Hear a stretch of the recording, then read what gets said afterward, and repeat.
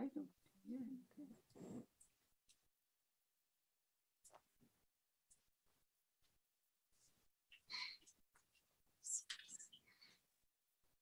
anything. Greetings from the Iranian Studies Unit of the Arab Center for Research and Policy Studies, and welcome to our conference on institutions and politics in Iran. Over the next three days, beginning today, we will examine the establishment of the Islamic Republic and the institutions of uh, Iran since its inception, but also since the constitutional amendments of 1989. What we have in Iran are a series of institutions that are both elected and unelected, and transposed on these institutions are a complex network of formal, informal, and semi formal institutions and networks that together create a very complex political system, a political system that is now more than 40 years old and seems to be quite robust and in power despite its own efforts, despite itself, and also despite uh, efforts from the outside, such as the maximum pressure campaign that was the hallmark of the Trump administration's Iran policy. Our three day conference, which features a selection of renowned scholars of Iran, will examine the institutional makeup of the Islamic Republic and the power structures that characterize the Iranian political system. Placing the birth and evolution of the Islamic Republic within a broader context of Iranian history, what we hope to do over the next three days is to examine specifically the changes and the transformations that have occurred not just in the Iranian political system, but within the context of contemporary Iran in relation to, uh, and, and the changes that the state specifically uh, has uh, undergone.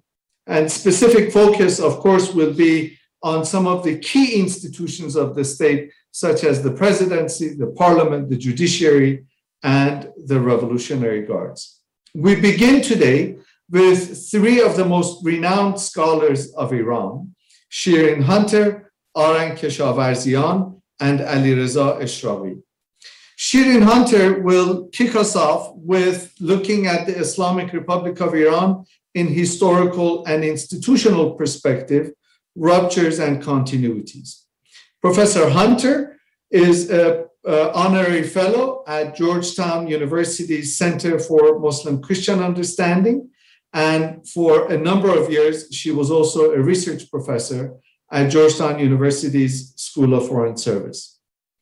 Then we have Arang Keshavarzian, who is associate professor of Middle Eastern and Islamic Studies at New York University. And last but by no means least, we have Ali Reza Eshraghi, who is a visiting scholar at the University of North Carolina's Center for Middle East and Islamic Studies. We're all in, a, in for a huge treat. These are three of the scholars uh, whom I have read for a number of years and I have followed and I have actually cited uh, uh, them quite extensively.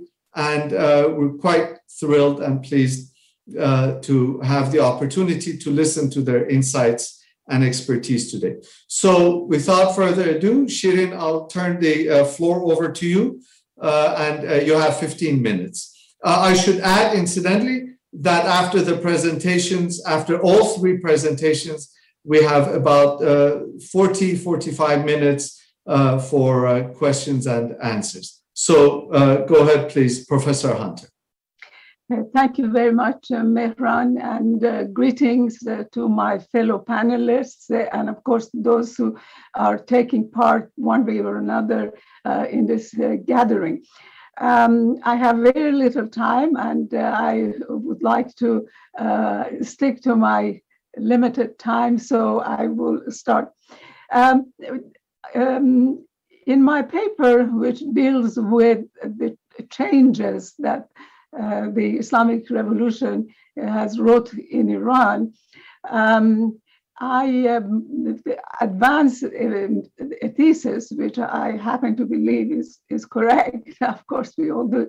That uh, Islamic Republic actually marks a really significant break uh, from uh, Iran's uh, uh political and uh, even cultural and, and social um, history.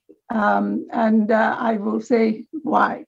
Uh, before doing that, I'd like just to very briefly uh, say a few words on what was the situation in Iran, what was Iran's political system, what was the uh, dominant, um, uh, shall we say, discourse uh, in Iran at the time, and how Islamic revolution changed all this. Um, the Iranian system politically at the time, at least on paper, was a constitutional monarchy. Um, but obviously, uh, we know that uh, uh, the, the, reality was far more uh, different. Uh, the parliament and elections and so on in Iran, as they are now, uh, were not as free as they should be, and that certainly by the time that revolutionary forces gathered momentum, um, it was really the monarch that made all the important decisions.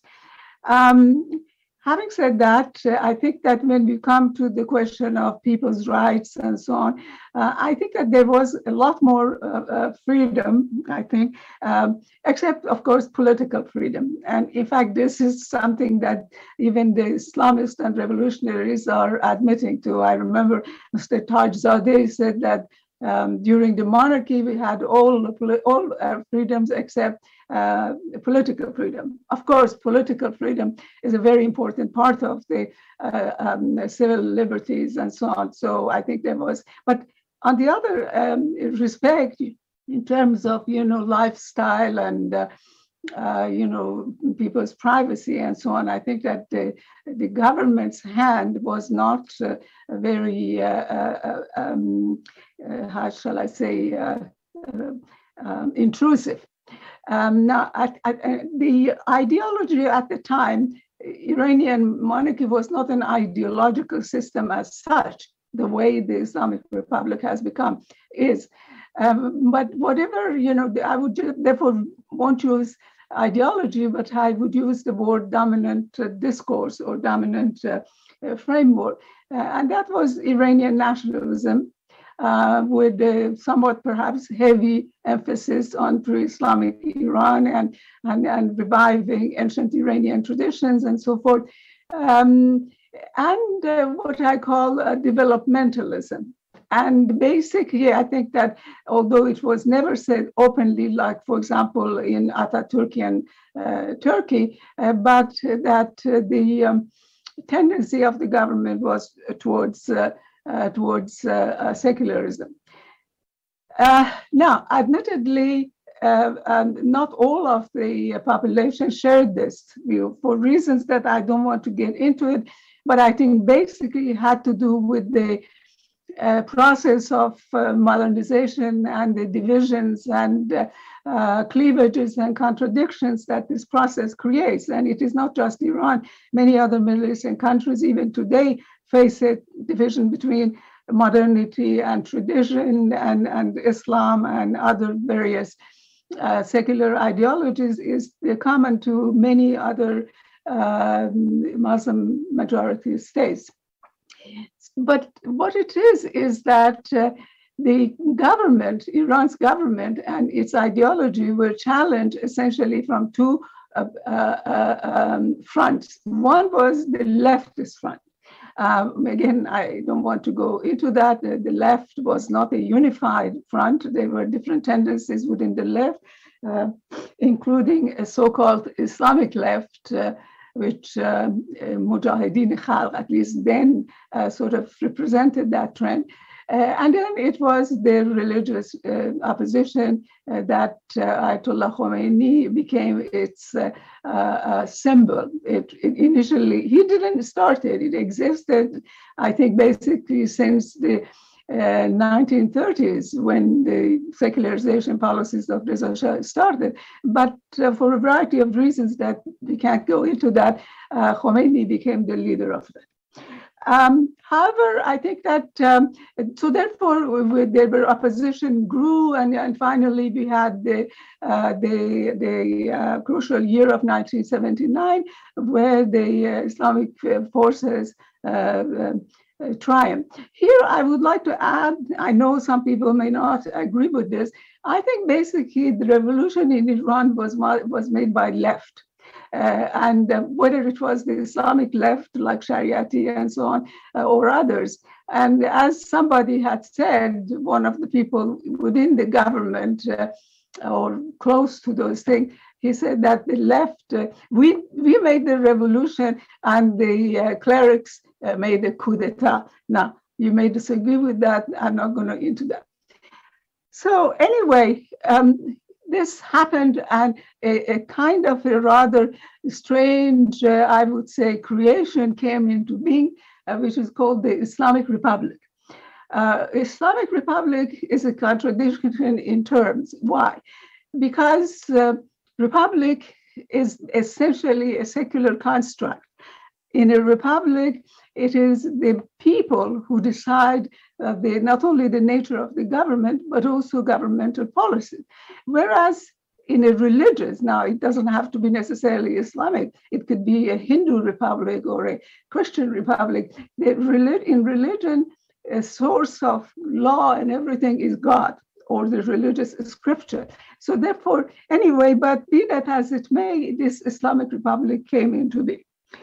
Now, Islamic Republic uh, has become, as I say, marks a big break with uh, Iran's, uh, at least modern history. If if we take it from, you know, even the Qajar time and so on, a big modern history. To begin with, even if since the constitutional revolution, even if in practice, Iran, like many other countries, third world countries, was not uh, a democracy, certainly, but in Iranian constitution of 1906 and with the amendments and so on, uh, it was the people, the will of the people, which were uh, the, the, the, the basis of legitimacy and the source of uh, ultimately law. Of course, these laws, it was said they should not contravene Islamic uh, uh, principles. Now, with the Islamic Republic, it's very open in its constitution. It says that sovereignty belongs to God and that God is the legislator. And in fact, Ayatollah Khomeini has a famous saying. He said the parliament's role is not to uh, legislate, but rather it is to set programs, which is a very important thing. So this is, I think, a very important uh, stuff and also has implications for whether uh, it can be, you know, the gradual change in the Islamic Republic. Um, because, you know, it's very difficult to argue with God.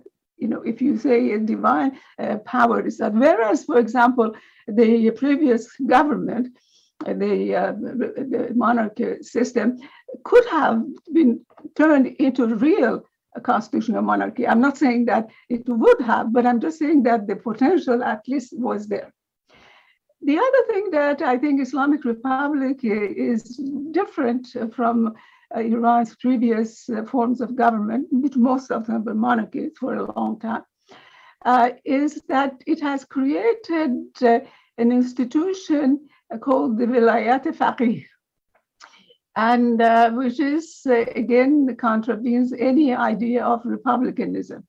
Because especially after in 89 of the uh, they made the vilayat mutlaqi, absolute. So, in fact, it, it, if you have followed the Iranian, those who have followed the Iranian uh, scene are aware of it. So, I'm not saying anything new, uh, that um, uh, many uh, political figures and clerics have often said that uh, disobeying the uh, Wali, Wali Faqih, which is Ayatollah Khamenei, is actually disobeying God. Now, the uh, Iranian kings, despite all their despotism and so on, they never actually said that we are speaking uh, uh, on behalf on behalf of God. Although you know we do know that there are there were theories in Europe and so on of the so-called divine right of uh, uh, kings and so on. So this is another thing. Now the issue of the Vilayat Faqih and uh, you know its antecedents and so on will be discussed in a different session, and uh, there will also be another paper. So I don't want to go into that. I'm just going to express my own view that I have written in other places. Um, the whole Vilayat Faqih, the way it is, is an absolute innovation uh, in uh, in Shia Islam wherever you go, you don't find this. Uh, there are some ideas were, where initially um, advanced by in the 18th century and so on, but it, they never really got anywhere. And so the whole question of uh, uh the uh, Vali Faqih is, is really very, uh, uh, is, is a bit, uh, is an innovation. More importantly, I have to say, and you know, if you go, because most of the Shia ideas, including political ideas, comes from uh, the sixth Imam, Jafar Sadiq. And um, his view of politics in general was that uh, uh, government and so on are illegitimate. But in these conditions, the Shia had really to look into the community. But it's also another Shia tenet that you cannot have a just government until the return of the Mahdi. However, the uh, Iranian uh, Islamic Republic claims is that the just uh, Islamic government. You know, it, it's uh, this cannot be. I think that in many ways, Shiism is just not conducive to this kind of thing. Although, of course, nowadays they have, you know, new theories and and so on. So this is basically what I'm saying. The other thing is that. Um, a very significant feature of uh, the Islamic Republic, at least there's a lot of them, I'm not going to say everybody is like that, but it is essentially anti-Iranism. Anti-Iranism, they per, their purview is not Iran. Uh, prior to that, basically the Iranian governments, whatever they were, their concern was first and foremost with Iran. In other words, how do we secure Iran? how do we uh, you know improve uh, iranian people's lives and so on very often they didn't do a very good job obviously for reasons we don't want to get into that but the fact was that their point of reference was iran millat iran the, nation of iran for a long time i even now and even now um, some of the clerics certainly Ayatollah uh, Khomeini was like that, and often Ayatollah Khamenei is like that. They don't use the word Millat Iran. There's always Ummat Islam. That's all fine. But what I'm saying is that the, this is a major departure. I mean, if I might just take brief thing, in the old days, if we take Nasser's concentric circles, there was first Iran, obviously. And then in the outer thing was Islamic world, and then after that it was the third world for Iranian policy. But now um, they, at least rhetorically, of course, I'm not saying uh, they are uh, referring to that. The other thing is that, frankly, that they actually have campaigned against many aspects of Iran's history and, uh, and, and, and traditions. So again, don't want to go because maybe I'm running already out of time. But this is again a major thing. They have replaced nation with God. So the source of legitimacy is not nation, but it's God. And they have replaced uh, Iran with Islam. And this is also a major, major change uh, in, in, in Iran. Uh, even Iran's conquerors, even Iran's conquerors eventually identified with that, identified with Iran as a territorial and cultural construct. The concept of Iran Zamin, it was something that uh, uh, was not just territorial, it was also cultural. Okay, so these are some of the major things. And um, in foreign affairs, again, they have, instead of a national perspective, an Iran centered perspective. They have a kind of universalist perspective, whether it is um, uh, Islamic unity or whether it is uh, uh, anti imperialist, uh, whatever.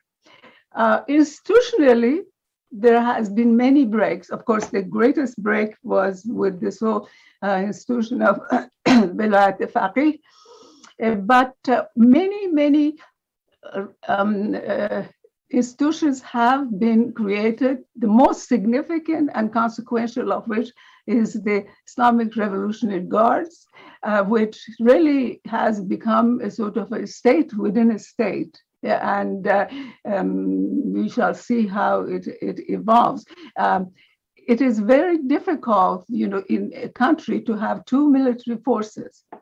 And, and I think that this is another thing that the, the, the, the the distance between nation and Iran and the political regime has deepened far more under the Islamic Republic. The, the IRGC is not there to defend Iran, except when it's convenient for them. The IRGC is there to defend the system and the so-called gains of the revolution. So this is also something which is very, very um, so um, so I don't want to enumerate the different uh, organization that has come. Uh, uh, there is all in the paper. Eventually, you will read, inshallah. But um, uh, but what has also happened is that for practical purposes, which really mostly for administrative purposes, uh, they had to retain certain institutions of the past. So, and they have created some new ones, like, for example, the uh, office of the uh, president of the republic, which really doesn't have much power at all. Um, increasingly, it has lost power. And then, of course, some ministries and, and, and so on and so forth, they, these have been uh, created. When it comes to the cultural uh, issues uh, and this anti Iran thing, um, I think that uh, uh, they haven't been able to achieve everything, but I think they have achieved enough. They have deepened the cleavage within the country. Uh, I sometimes even cannot understand very well the style of Persian that they are using and writing. Uh, it has become a kind of a illiterate, you know, uh, becoming illiterate as far as it's, uh, Persian is concerned. And um, and of course, uh, there is a constant campaign in one way or another against, uh, I mean, for example, Nowruz. They haven't been able to eliminate it, but they certainly do everything they can to discourage people. You know, you know, you should celebrate Eid al-Qadir or Eid al-Fitr or whatever it is.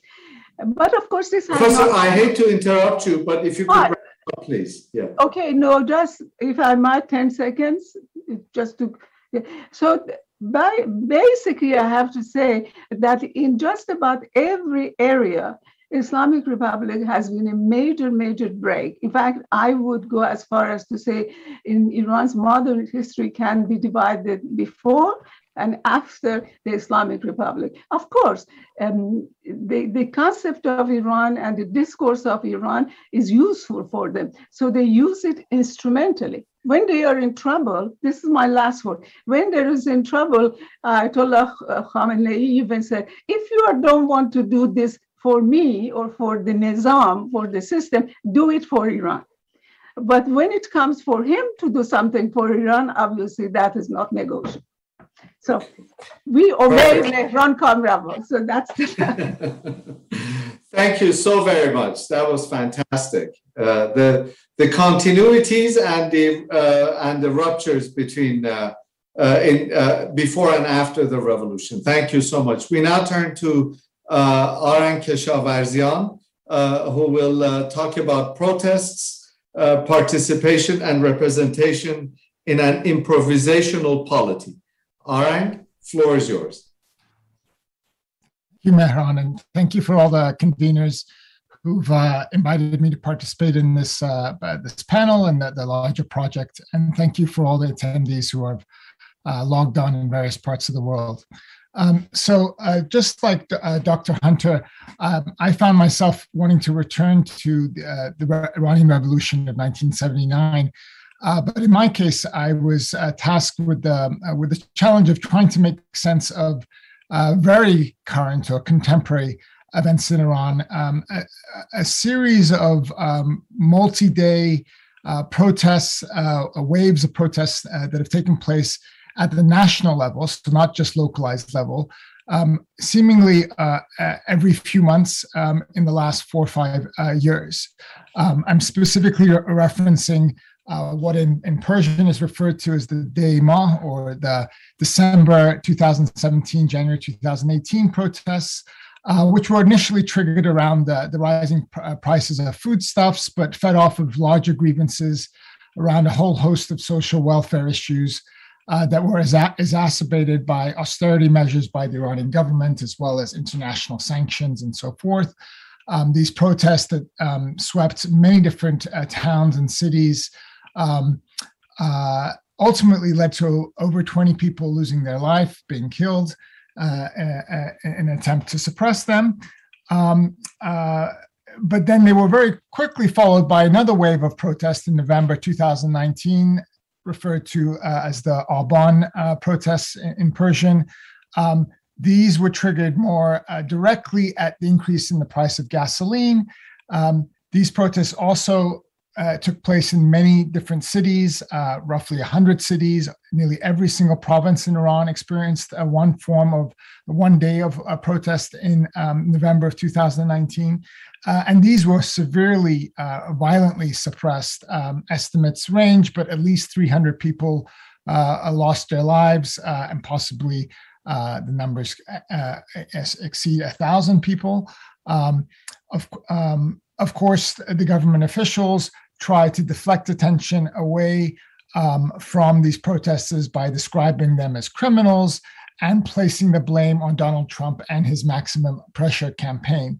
Strikingly, though, none of the government officials actually really denied that uh, Iranians were struggling under uh, incredibly uh, strained socioeconomic conditions. And that was uh, quite striking. Um, now, the standard way that we've talk we talk about these two protests and the ones that we've been seeing this past few uh, weeks, uh, past few months as, as continued waves of these protests, the standard ways that we talk about protests in Iran is to focus on a narrow set of interrelated questions. Will these collective acts of disobedience scale up to topple the regime? Uh, who are the protesters, and what is the uh, what is it that is motivating them to take to the streets? What does this portend for the legitimacy, quote unquote, of the Islamic Republic? And it's implicitly who doesn't participate in the protests and can be thought of as still aligned with the regime or under its control. Now, these questions can be productive in the hands of the right researchers. Uh, however, they have fundamental drawbacks because they encourage us to define the protests and the protesters as necessarily in direct confrontation with the regime, or at least opposed to state institution, institutions. What's more, this framing is overly presentist, assuming that the behavior of citizens and their decision to protest at this particular moment in time is a radical departure from the history of the Islamic Republic. The implication is that protests were a watershed moment when Iranians and um, from conservative and small towns defect in large numbers from the ruling coalition, while the regime uh, elected to use uh, levels of blood, uh, public bloodletting unseen since the founding uh, in 1979. Formulated differently, the, pro- the protests and crackdown mark the end of reformism and electoral politics for many, especially those inside Iran. Others infer a quote unquote crisis of legitimacy um, and a political kind of dead end, uh, where there's seemingly there's no uh, pathway except for the implosion of the state or utter failure of Iranian citizens to overcome a weakened or vicious, uh, a weakened but vicious regime. Um, now, the essay that I've written for our volume offers a different framework, one that tells a very different story, not one of decline of the uh, of the state or a break from the past, but but one of dynamic change emanating from a foundational duality embedded in the post-revolutionary polity.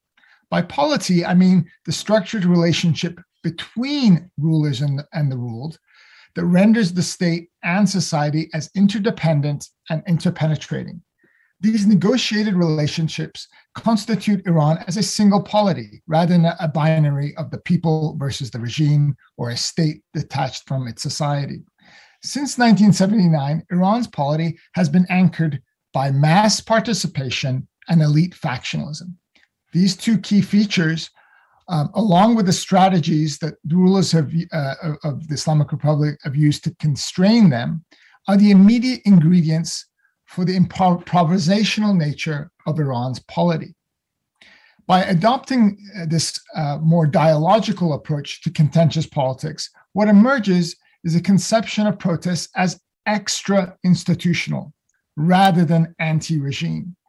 These unruly protests depart from state regulated and initiated practices of participation, such as elections, and Iran has many of them almost, uh, almost on a yearly basis for one level of government or another, or taking issues to courts, or parliamentary lobbying, or legal, gather, legal gatherings, and so forth. People turn to streets that lead to direct clashes with security forces and other symbols of oppression. These rallies are non normative means of expressing grievances, making demands, and collective bargaining with policymakers. But the power of protests stems from their ability to alter what is acceptable political conduct, defying or extending the legal boundaries that authority, authorities have mapped and have tried to protect. Indeed, the more regularized forms of discontent and participation are often a call for state institutions to intervene in the affairs of citizens, to protect them from either exploitative private actors, such as banks, factory owners, smuggling networks, and so forth, or corrupt and ineffectual public servants and agent, agencies, local governors, mayors, and so on and so forth. Time and again, um, the protesters um, uh, also can, can uh, and protests also contain demands for the state to recognize independent trade unions and civil associations, and for parliamentary members, journalists, and TV roundtables to take up their concerns, even if indirectly. The challenge, therefore, for us as researchers is not to decipher if these protests are subversive enough to bring down the Islamic Republic. They may or may not be. But what we should be thinking about, I argue, is to trace how they are an, an, an how they are an effect of much deeper changes occurring in Iran and reshaping representation and collective bargaining. Rather than approach the 2017 or the 2019 or more the summer's protests as reflecting or revealing a crisis, the, the, uh, uh, and the true contours of a very opaque state and society. In the paper that I've written for this volume, I insist on recognizing protests as responses to deeper um, aspects of a specific crisis of representation. And I'll just get to that in a, in, a, in, a, in, in a moment.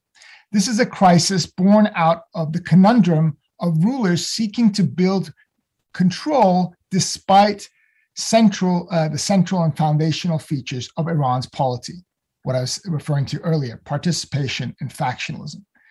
Now, in the limited amount of time, that we have. I can't go into all of the details that I, I kind of develop in, in the essay, um, but let me just point to them, and maybe in the question and answer, uh, answer I, I, if you like, I can return and flesh out some of these points.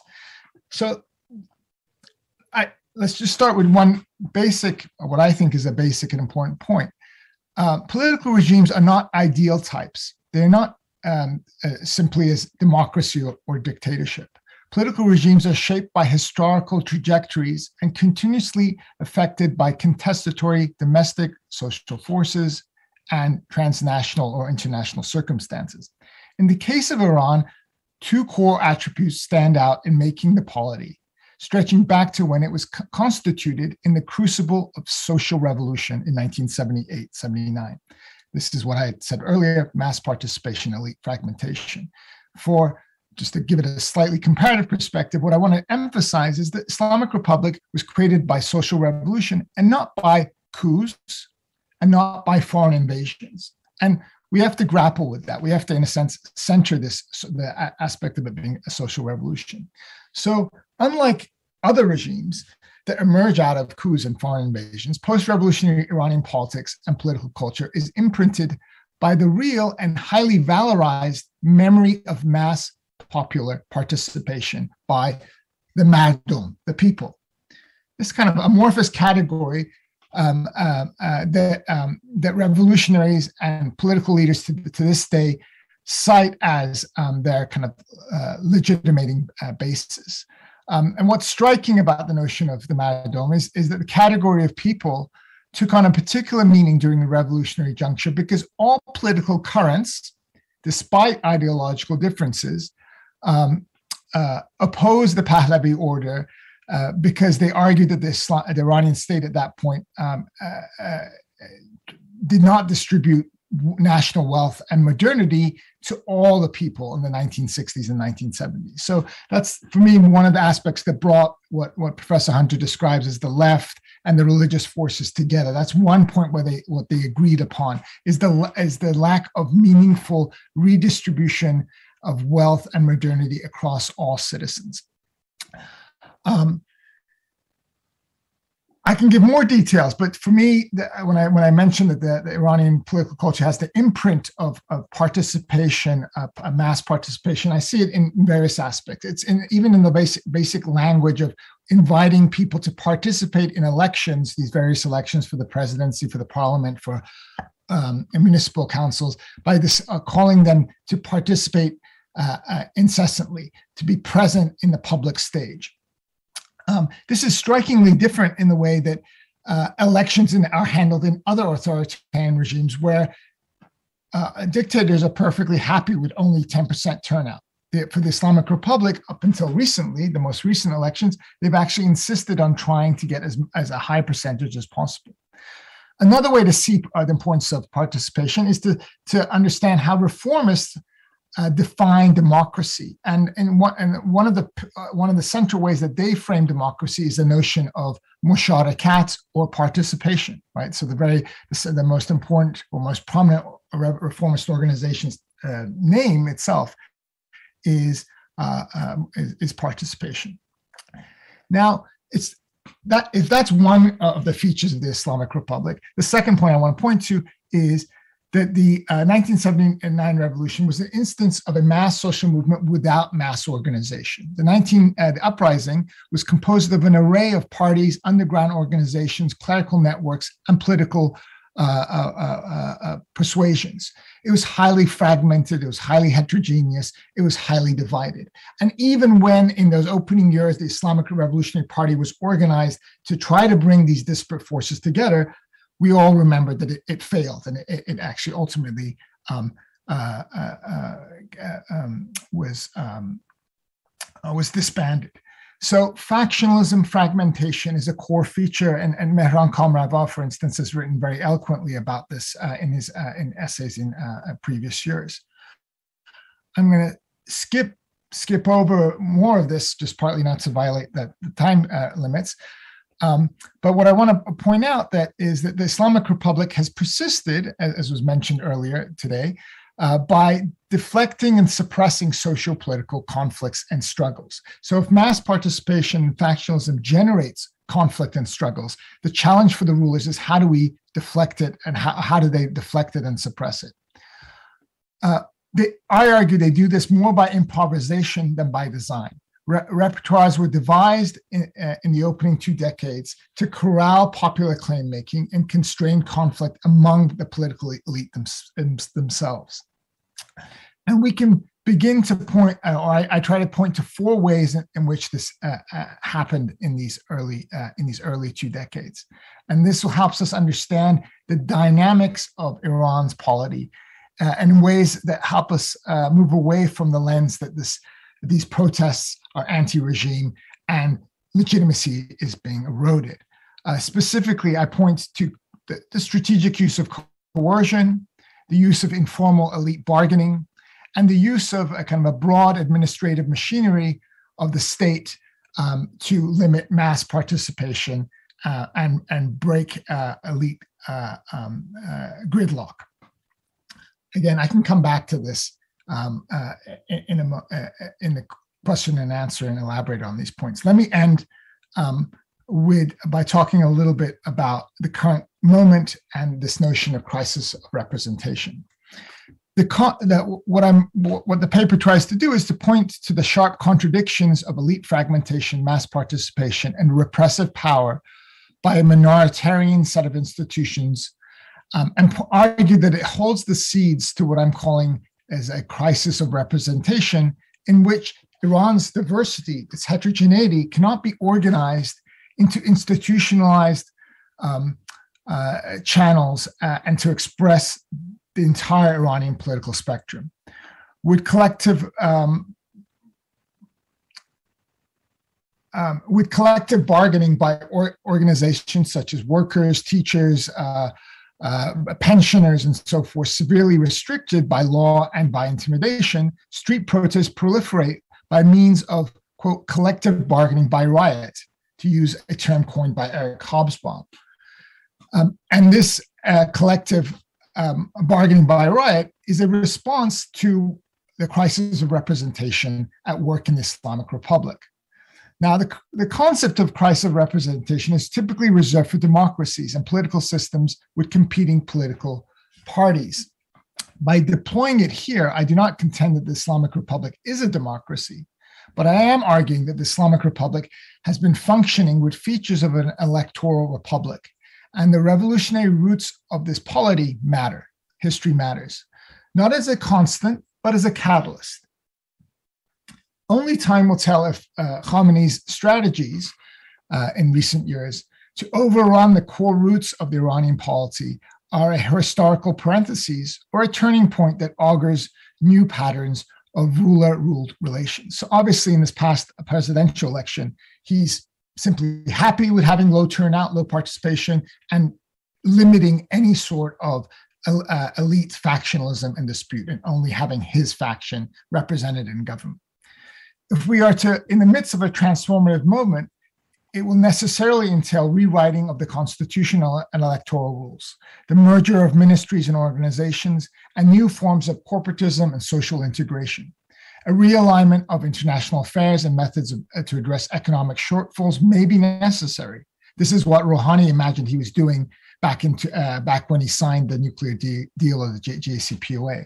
With the nuclear deal jettisoned by maximum pressure, uh, and Rouhani's uh, brand of pragmatism and centrism being defeated in the halls of power in Tehran, as well as ballot boxes in, in 2020 and 2021, any reformulation of a social contract based on reinstitute, resituating Iran in the global economy will have to be altered by allies of, of uh, Khamenei today, Raisi and so forth, and the parliament headed by Ghalibaf. And tactically, uh, and tacitly at least, approved by a pulverized and highly skeptical citizenry. None of this is simple, and all of it will be controversial. The outcome of what I'm calling a crisis of representation is not foreordained. By their very nat- nature, all crises are opportunities to renegotiate social relations and political institutions. But our opportunities are not always seized. And let me end by saying they oftentimes fester for many, many years. Thank you. Perfect. Thank you so much, uh, Arang. I really appreciate it. That was excellent. Thank you.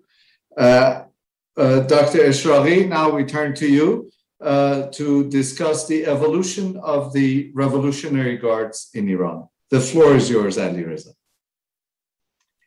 Thank you, Dr. Kamrava. hello, everyone. مرحبا بكم جميعا. شكرا جزيلا ويشرفني أن أكون هنا معكم thank you for having me and thank you your colleagues at the Iranian Studies Unit in the Arab Center.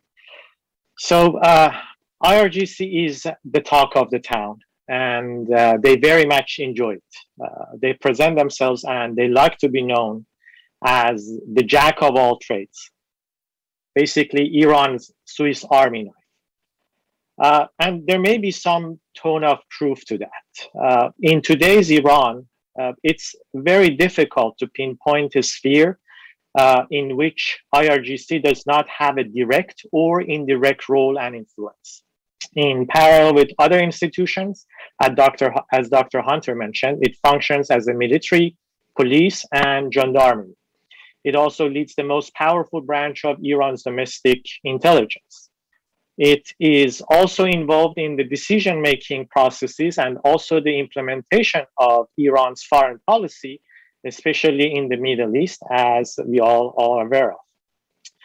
It also functions like a political party. It can mobilize grassroots, uh, it can train young cadres of politicians and organize and broker political power. It can organize electoral campaigns, uh, even in Iran's remotest local communities.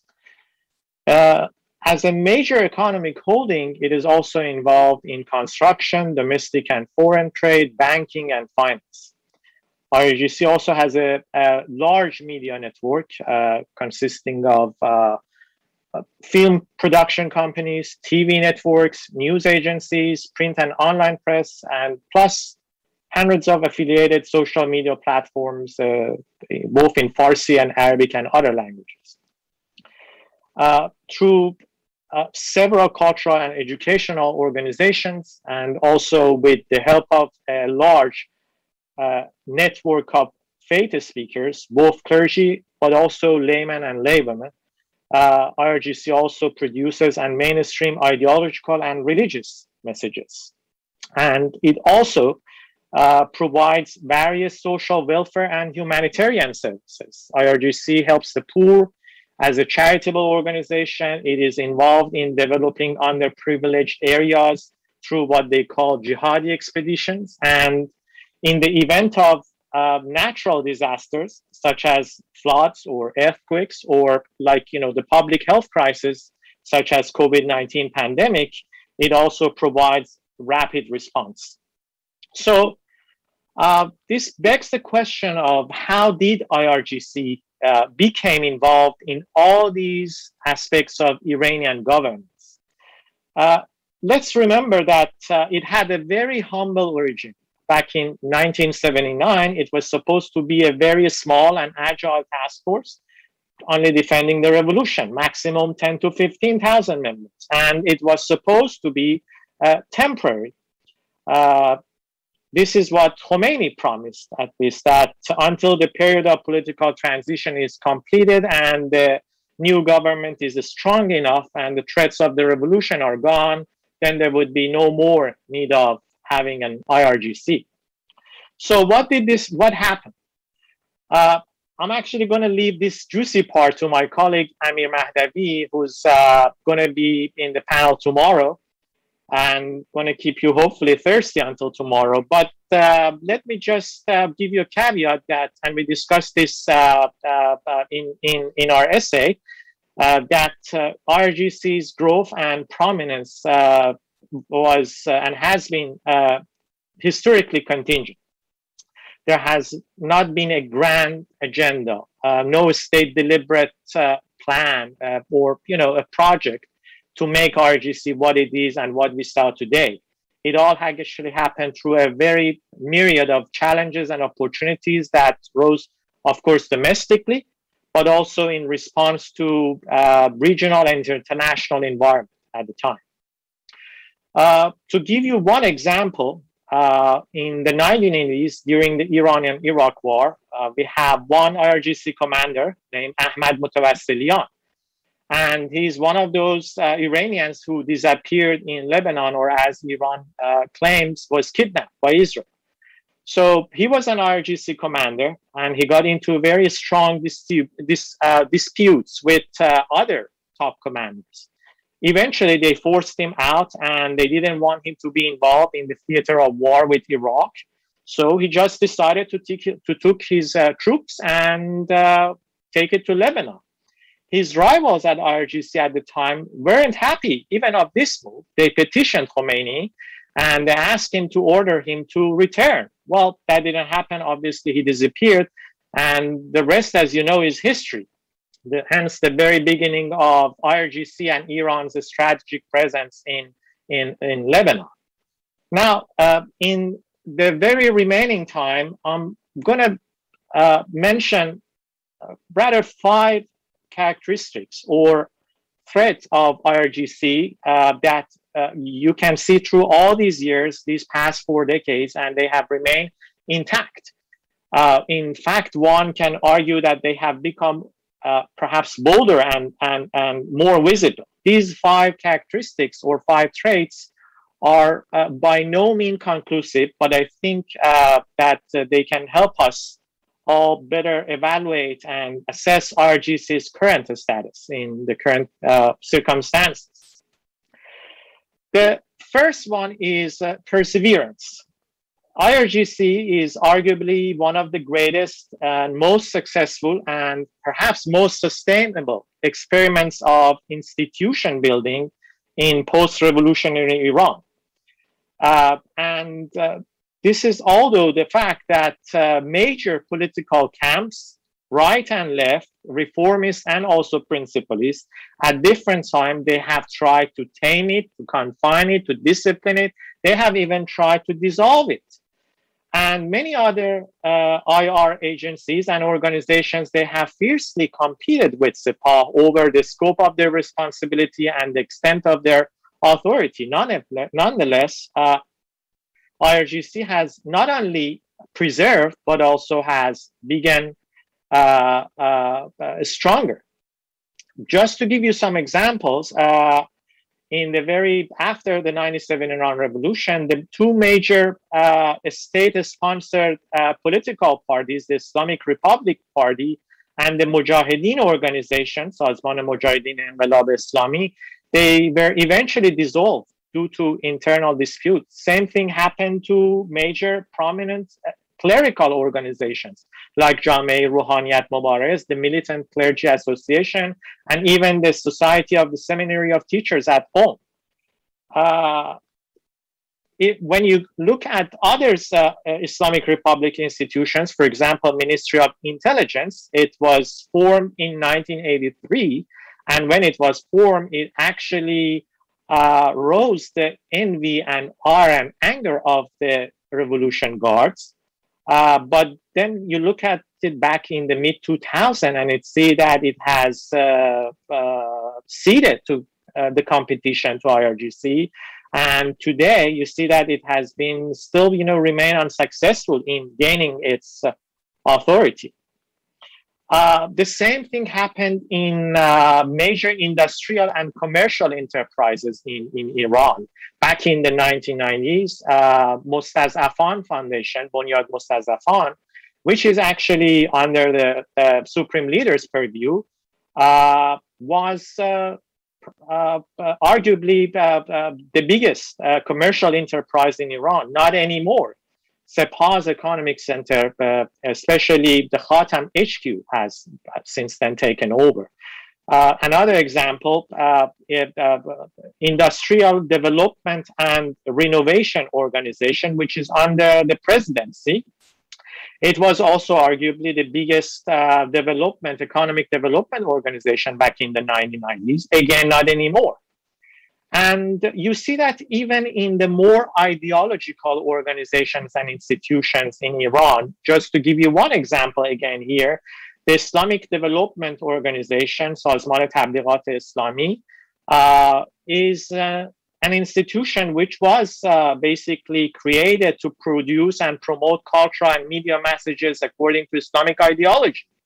And uh, when you look at today, you see that uh, the, the, Islamic development organizations, human and financial uh, resources, as well as the volume of production, is not at all comparable to what IRGC produces. Uh, the second is that IRGC has, uh, uh, through the past four decades, has always had a contentious relation with Iran's executive branch, or rather to say civic administration. And this again has nothing to do with uh, who, from what kind of a political, you know, uh, lenience has been in the executive branch. In fact, current Iran supreme leader Ayatollah Khamenei back in the 1980s when he was president, he had a lot of trouble with IRGC. They were at that time, for example, trying to uh, push for uh, uh, forming a regular army consisting of both ground, navy, and and uh, air forces. And uh, Khamenei was was fully against it.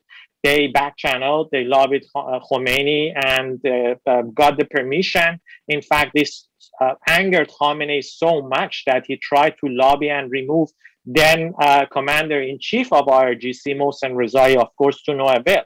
And again, you look at the rest of the history, you see that no matter who was the president, whether it was Hashemi Rafsanjani, Khatami, Ahmadinejad, Rouhani, still, you know, uh, there was always this tension between IRGC and uh, these uh, civic administration.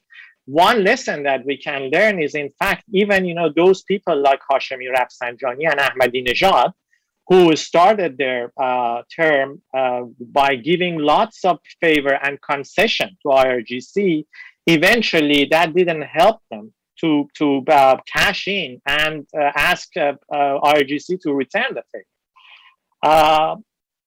The third characteristic or the third point that I'd like to mention very briefly here is, is actually about the hegemony of IRGC.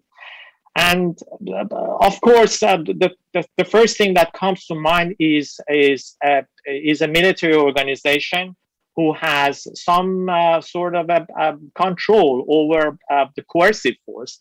But uh, as we all know, it's uh, the, from the concept of hegemony from Gramsci. Hegemony is not just about coercion; it's also about uh, basically securing and co-opting uh, uh, Uh, and making the, uh, uh, the Iran civil society, political elites, cultural elites to get used to its presence. And you see that has happened in, in the past four decades. In fact, a lot of uh, secular cultural and secular business elites, private sector in Iran, they are signaling consent to be co-opted by IRGC. They are doing business with IRGC.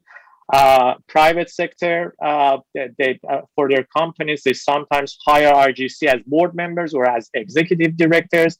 They have no way uh, other than conducting business with different IRGC branches like uh, HQ, either as a subcontractor or either directly, you know, I mean, doing commerce and finance with them. The same has happened even with the cultural elite. So you, you look at uh, the scenery back in 1990s and 2000, still it was a taboo for uh, Iranian intellectuals, cultural elite to be directly associated and publicly associated with IRGC. Not anymore. You see, for example, Masoud Kimiai, a very prominent Iranian uh, filmmaker, uh, whose uh, many films that he made be, uh, before the revolution are still, you know, considered cult in, in, in, current Iran. And he has made a number of movies with the support of IRGC and with their funds. Look, you look at um, uh, the, the very uh, famous uh, Iranian superstar, Niki Karimi. She is an actress, but also a feminist uh filmmaker. Uh, which in fact, actually, her movies have been banned by the Iranian regime, yet she is fine uh, play, uh, acting in one of the very famous series of all the time in the post-revolution Iran, Aghazadeh, which was made actually in 2020. So uh, that gives us a very different understanding of what we basically hear uh, in the media that there is a detachment or a very distinct separateness between IRGC and the society. And when you look into it, in fact, it's, it's very different. However, and this is my fourth one, uh, there is some sort of a, a no strings attached policy here. So that doesn't mean that if you're conducting business with IRGC, you're also going to be enjoying political favor from them. No, they're they're fine doing business with you, uh, but when it comes to political opposition or when it doesn't serve their purpose, they're also very happy to suppress you or to put you on trial or you know just arrest you. And this is not just about the, of course, Iranian uh, uh, private sector and the civil society or intellectuals, but also the political force And it's both ways.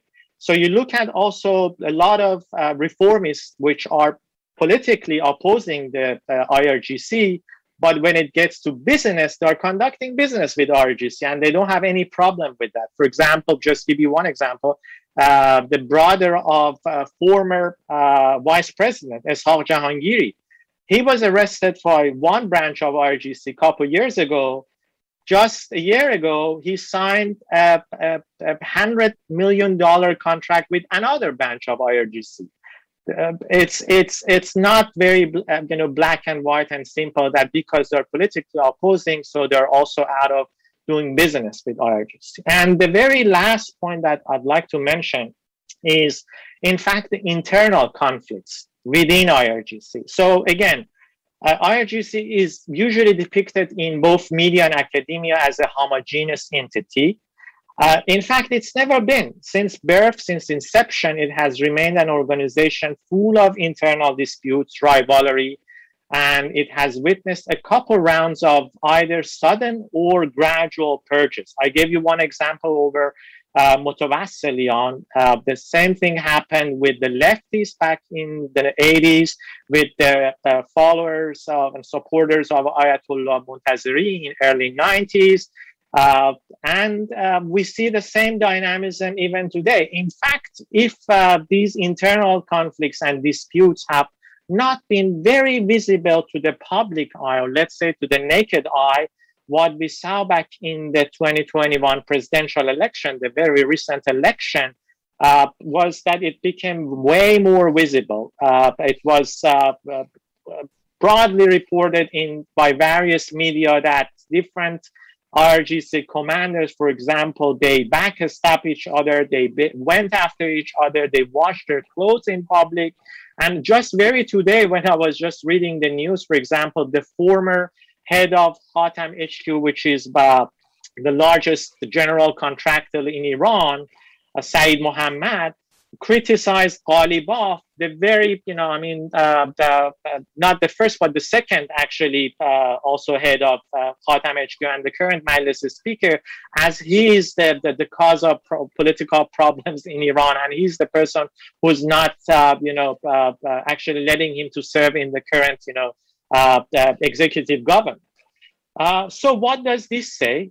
Uh, I'm going to end with this that interestingly, you look at other uh, Iran's republic institution, and you always see a, a, personality trait also attached to that. When you talk about the presidency, you always talk of different people who were in charge of those institutions. The same is even with the supreme leader.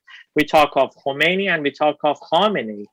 But interestingly, although there has been always this rivalry, internal rivalry and conflict within IRGC, IRGC has successfully been able to always keep a public brand intact, which is always collective. I myself right now and other people, when we talk about RGC, we, we talk of them just as RGC. RGC did that, RGC there. We don't say, oh, the commander of RGC decided to do that, or we don't talk of why, you know, these commanders' policies are different. This has been also another interesting aspect that amid all these, you know, troubles, purges, internal conflicts, they have been able to maintain this cohesion. Whether they're going to be able to do that uh, in light of the, the, the very recent, uh, more visible internal, you know, dynamism and conflict, that's a question that that, uh, that is very interesting, and we should watch to see what's going to evolve in the future. Thank you very much.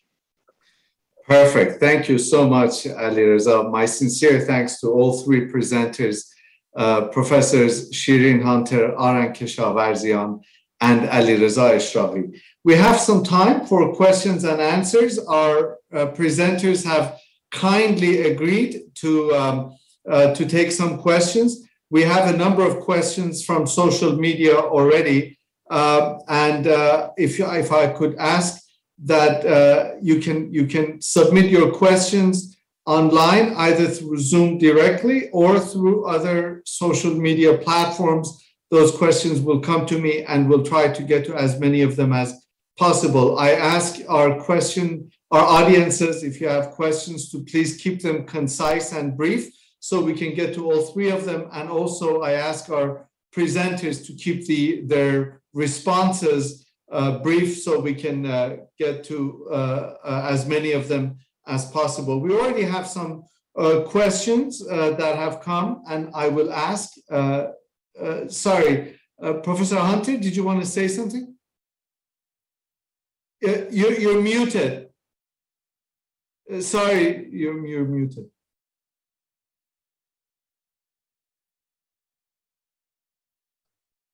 Um, can you hear me now? Yes, yes. Go ahead, please. Well, whenever you think best, I'd like just to respond to a couple of comments and made and perhaps clarify some of the points. And uh, sure, uh, whenever maybe in the context of answers to questions, because we already uh, we have no problem. That's questions, and that that would be, that, uh, that's that would be that's terrific. Fine. One of the questions asks, and I uh, and either three of you prob- probably, um, uh, Shireen, you can uh, start, and if others want to chime in. And the question is Does the uniqueness of the Islamic Republic as a model of government account for its resilience? Uh, I, I suppose the question is why is the state so resilient? And does its uniqueness have anything to do with it as a governing model? Um, Professor Hunter? Well, I mean, uh, I, I really uh, have to say that 40 years is not uh, a kind of a enough, uh, uh, you know, enough uh, time lapse to, to, to justify whether the Islamic Republic is resilient or not. that this is a very big question. well, there are a lot of, I think, that reasons for it. And part of it is that, uh, uh, you know, they have made a very uh, uh, efficient use in some ways of using the religious discourse and so on. Uh, and I think that the outward behavior of the some of the leaders of Islamic Republic has been, if I might use this word, folksy, you know, that we are part of you, we are just like you. The fact that they sit, they don't sit on chairs and they just, you know, they think that, which is I, I, well, anyway, I don't want to get to that, but those kind of things, I think they might have had some appeal to that. But also that you have to say that a lot of those Iranians that might have disagreed with that, um, to be honestly, even after massive invasions, perhaps I don't want to bring the that subject up, there has never been such an amazing migration of Iranians from the country.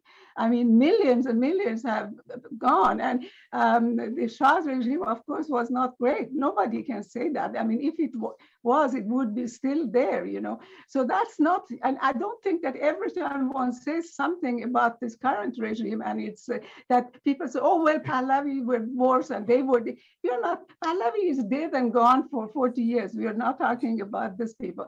So this is one of the things. So thank you. Well, but Mehran, I need to answer a couple of the things they had said. If you don't want me, I will just keep quiet. No problem. But no, uh, we, we have a lot of questions we need to get to. So if I could uh, just uh, uh answer some of the questions, and if there's time, then we'll come to the points that okay, no probably in the context of no questions. There's a question uh, that has come, uh, Arang, it's directed at your presentation in terms of the nature of the protest. And the question uh, to which to some extent you addressed asks uh, how are these uh, protests contained?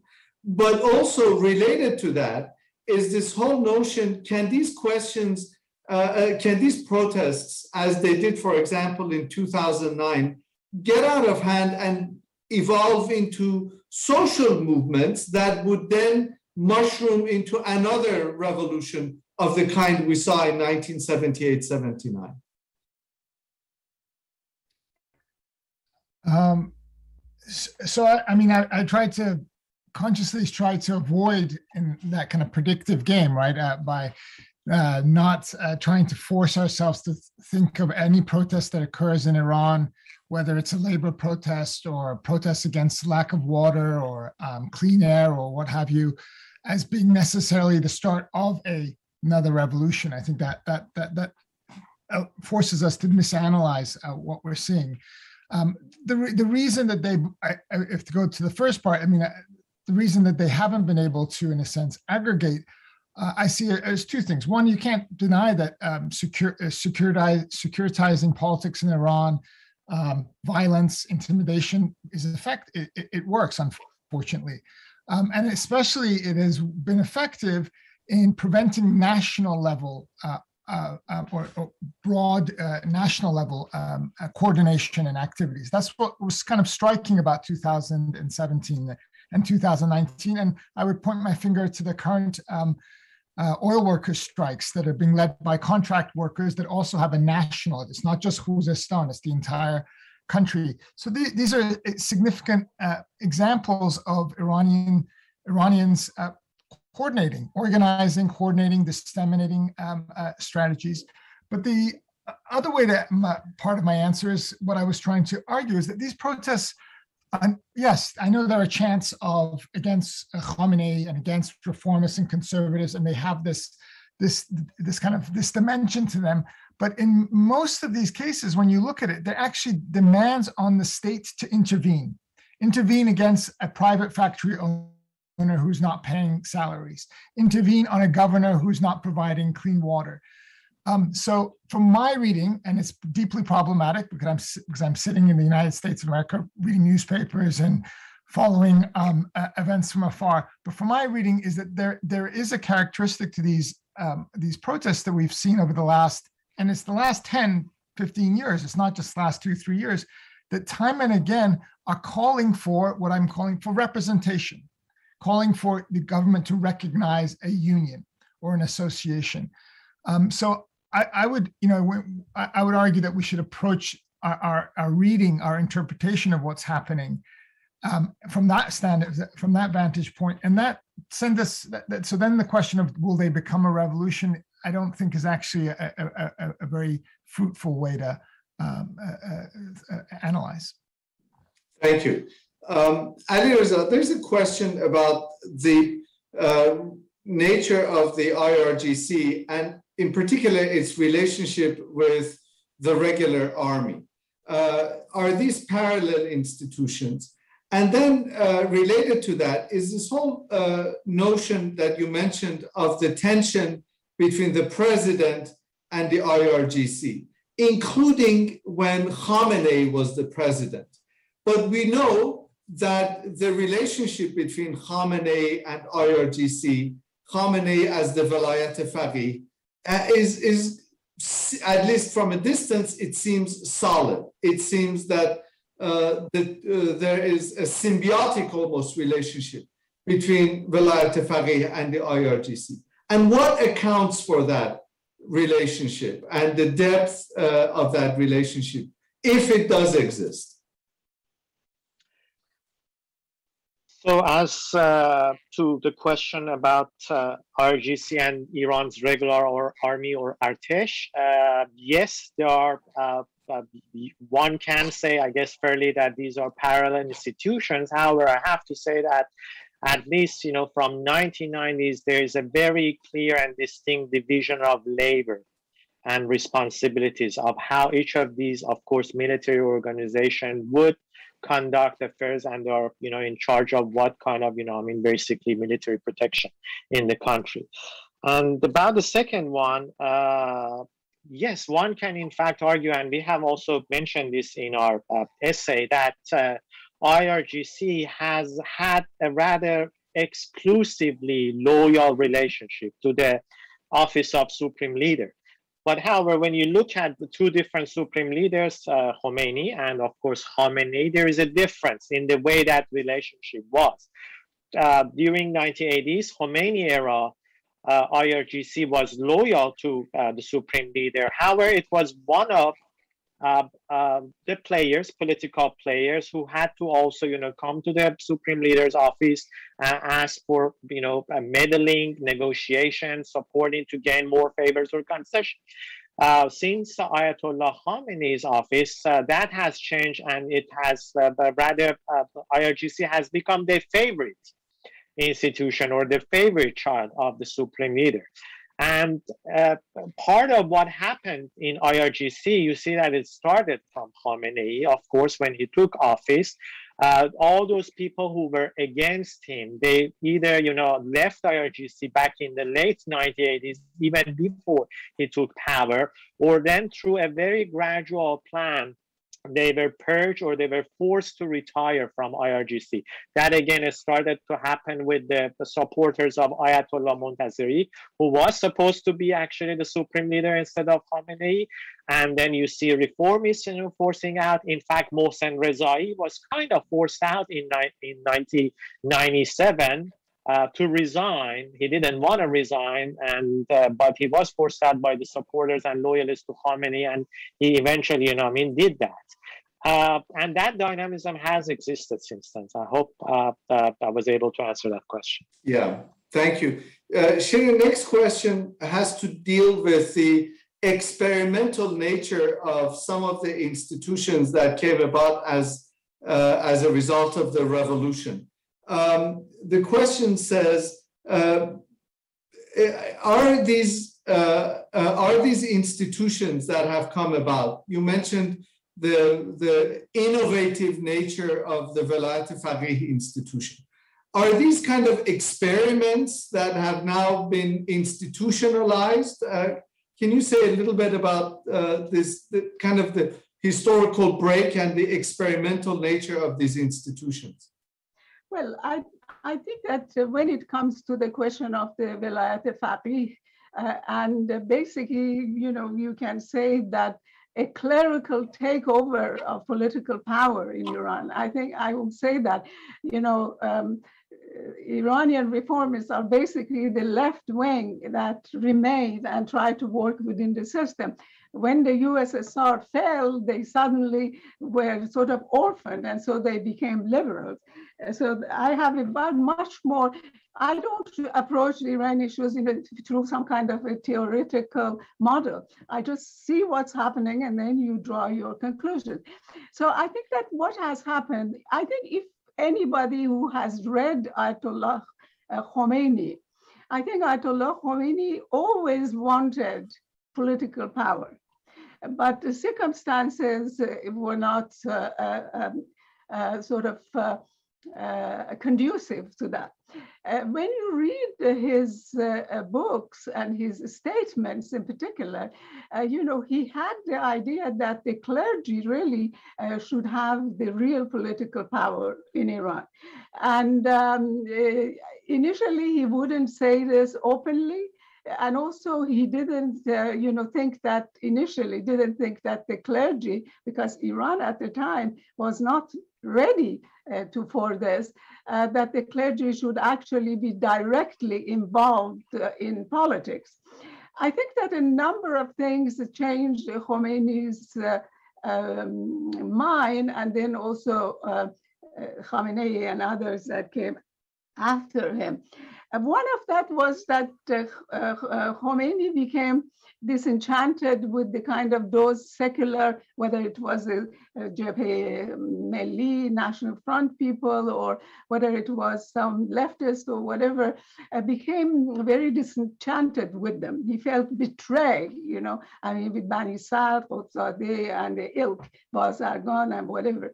And so what happened? He came to conclusion that the only people that can be trusted are actually the the clergy. So I think if you really look into the progression of the Islamic Republic from the uh, 1979 onward, you have seen that a creeping clericization uh, of the entire system. And so, and of course, with Ayatollah Raisi, now everything has become uh, uh, combined. Of course, um, Rafsanjani was a cleric, of course, uh, uh, the um, you know uh, Rouhani was a cleric. But the one thing that is much more important, it's very difficult, as my colleagues have also noted. Uh, Iran is a complex uh, uh, situation, and it can be approached through a variety of prisms, through a variety of analytical tools, and each of us have our own little approach, which doesn't you know invalidate other approaches but i'm just saying that it's very complex. So I think the clerical rule has become really very, very uh, uh, established in Iran. This is a very interesting thing. During I am the oldest, I suppose, member of the panel, and so I actually grew up in Iran of those years. You know, so I know um, firsthand certain things. It's not just book learning. so what I'm trying to say is that we never, you know, had um, so-called Imam Dum, a Friday Imam, uh, to be in every inauguration for every government thing. Rahbar has a representative everywhere in every uh, province and so on, in addition to the governor and so on, you have a representative of Rahbar, which frankly has a real power. I don't think governor can do anything without the representative of Rahbar. So I think this has been a gradual creeping in. And I submit that this has a lot to do with Khamenei's own personality and his really basically um, dictatorial kind of uh, tendency. Of course, uh, the uh, tradition of dictatorship in Iran goes way back. I'm not trying to blame the regime for that. But what I mean is that this has become. Another thing that I have to say is that increasingly Iran really has turned into a, what I call a kleptocracy. It's a kleptocracy, and everybody is making money ideology and so on are kind of you know covers for essentially what it is competition for power and money. And uh, in an economic situation that is not very good, obviously, if you know you are an actress, you have to live. So if IRGC says, "Come and make a film for me," you make it, or you know, we all have to eat, right? So that is it. But if I might, and I please indulge me, and I promise I will quit. I would like to say a couple of things about uh, the kind of economic conditions. Very, very quickly, if you will, because there are some questions. I think one thing that generally, I have written this, but one thing that generally, I think a lot of analysts, and of course, most of the analysts, both in Iran and in um, America in particular, but also in Europe, was done by the leftists. I mean, people like Fred Halliday, you know, the who thought that Republic of Yemen was the best thing under the sun. And, and I don't want to get, I knew him personally. So anyway, the point I'm saying is that there was a lot of distribution. There was a lot of, uh, uh, but you don't understand where Iran started out. When was the situation under the Qajar and, and then what else happened? There was nothing absolutely nothing. So what we had in Iran was that what I call, and the developmental people call it, the revolution of rising expectations. Everybody, to some extent, had improved, but other some people had improved more. And then, of course, they had, uh, and then, of course, I would say that one major reason was that Shah was too distant and too remote. He had not the popular touch he couldn't really uh, make people basically like him and so and then of course there were some people as Tajzadeh has said he said we were all um, subdued by the dominant discourse which was Marxism Leninism and so it's, and so I, in fact if you really look beyond all these niceties of Islamic Republic uh, the uh, Islamic Republic is a very much of a Soviet style government in a lot of things that they do. And uh, and it, that is what I'm trying to say. That it was. There's a, there, uh, there's actually a question. I hate to interrupt you. Right? No, no, please. That's okay. I understand. No, no, no, no, problem. If I could just interject here and ask a question from the, all of the panelists. Of course, sure. A question that asks on this point that Shireen just raised: Is Iran going the way of the China model, in the sense that there is developmentalism on the one hand, or at least the rhetoric of developmentalism. There is the Islamic Republic as an ideological um, as an ideological umbrella, uh, but Iran is as Islamic as today China is communist. Uh, there are parallels that can be made. Is that a valid comparison? And is can anyone uh, would anyone care to comment on that? May I? Sure, sure, please. I want to say, no, I think that um, one of the things people don't understand is that uh, one of the Achilles heel of the Islamic Republic is its foreign policy. And this foreign policy really has become stymied uh, by this, the fact that uh, um, the regime, or at least Khamenei, has made anti Americanism and so-called anti-imperialist struggle, which itself is a, a Marxist Leninist construct. There's nothing in, you know, um, and opposition to the kind of, uh, you know, Israel and the whole Palestinian issue as a foundation of the regime legitimacy. And that everything is just revolves around it, and everything else is stillborn. Why would have Iran had sanctions imposed on it? We criticize Trump rightly for all these things that they, you know, impose sanctions on Iran. They did this, but how did this happen? It happened when first the Iranians, with the hostage crisis, forced the United States to break. And then they went and started chanting death to America, death to America. So you know what I mean? And even now, when you look what, for example, uh, Zarif said in that file that said, in talking about uh, the um, battlefield and diplomacy, battlefield is Khamenei and the IRGC. Their, their power and their wealth is dependent on this thing. Whereas China, in foreign policy, basically has a nationalist outlook. Uh, you know, uh, uh, even from the Deng Xiaoping and others, they may have domestically, internally, I mean, internally too, they don't have a communist party for, for that okay. purpose.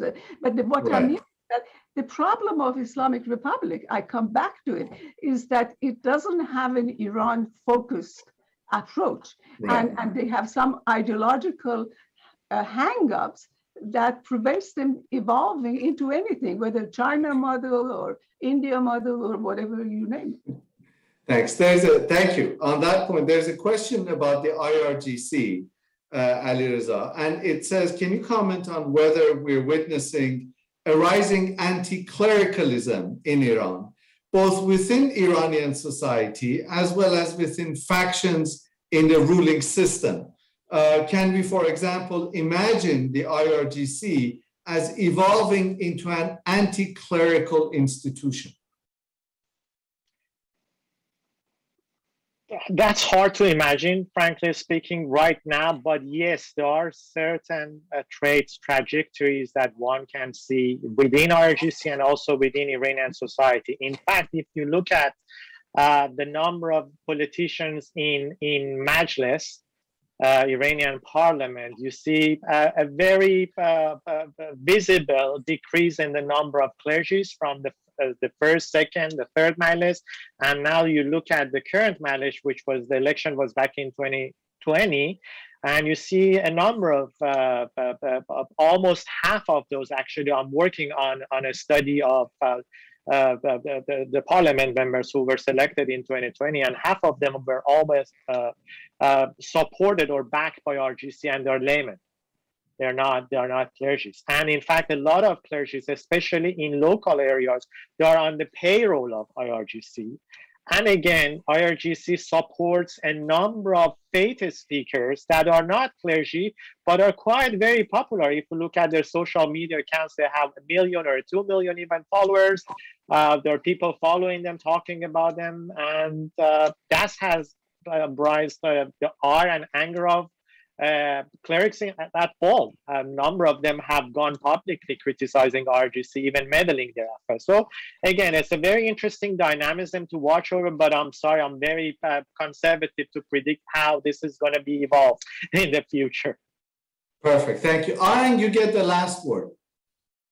Oh, uh, okay. I didn't mean to take the last word, but I, I just wanted to uh, I wanted to second what Ali Reza just outlined and just remind everyone that you know there's a there's always been a very strong anti-clerical streak in Iranian um, uh, society, culture, in even uh, Iranian uh, Iranian uh, traditions of Islam. Um, um, so that has been alive and well, and Ali Reza points out that it even exists within the framework of the IRGC, even though it may be difficult um, to imagine uh, it developing. But uh, we obviously have Ahmadinejad as another kind of version of that, if you will.